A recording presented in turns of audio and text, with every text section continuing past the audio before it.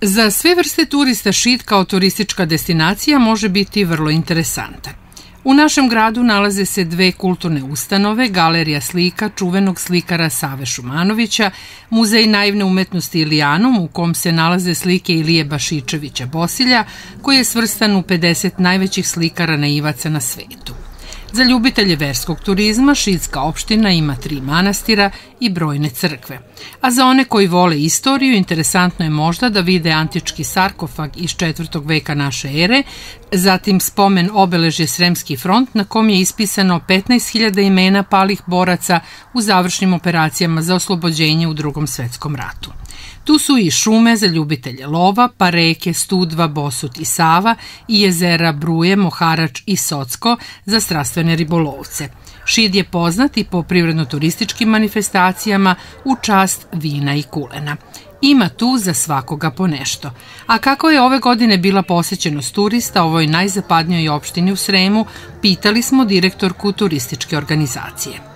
U prvi šest meseci e, na teritoriji Šidske opštine prema statističkim podacima imamo povećanje broja noćenja za 23% u odnosu na isti period prethodne godine. Međutim, u isto vreme beležimo pad broja organizovanih grupnih poseta turističkom infocentru i Sremskom frontu. E, takav je trend generalno u Sremu. Mislim da je atraktivnost posete privukao Beograd i Novi Sad kao veći turistički centri. Šiđani su dobri i vredni domaćini, ali vole i da idu u goste, a naročito na odmor i letovanje.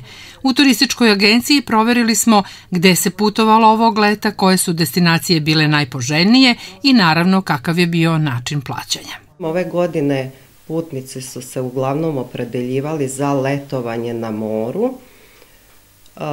To je Crna Gora, Grčka, Turska manje, međutim, znači, bila je umerena potražnja ove godine za turističkim proizvodom.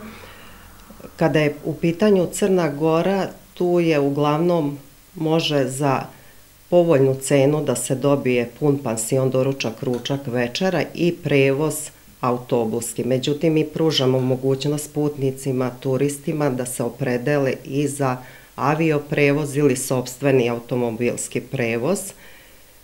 Takvu vrstu aranžmana pružamo mogućnost plaćanja na 12 rata, kada je u pitanju porodično odmaranje, znači porodice mogu da isplate svoj aranžman u vremenskom periodu od 12 meseci, što je povoljno za porodice, a da im takav odmor pruži kompletan odmor, znači kada je pun pansion u pitanju, tako isto nudimo i apartmanski tip smeštaja, gde se ljudi onda organizuju sami za svoju hranu.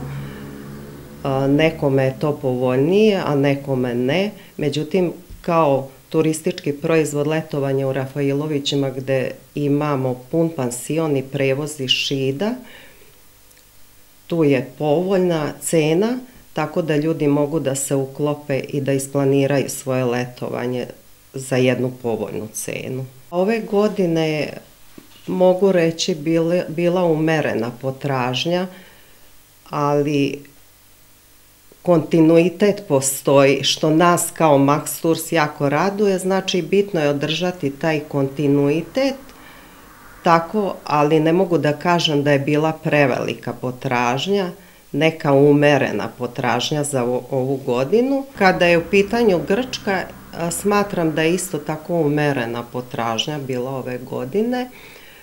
Ljudi se opredeljuju za smeštaj kao najam apartmana ili studija sa autobuskim prevozom ili tako isto postoji mogućnost sobstveni prevoz automobilski ili avionski.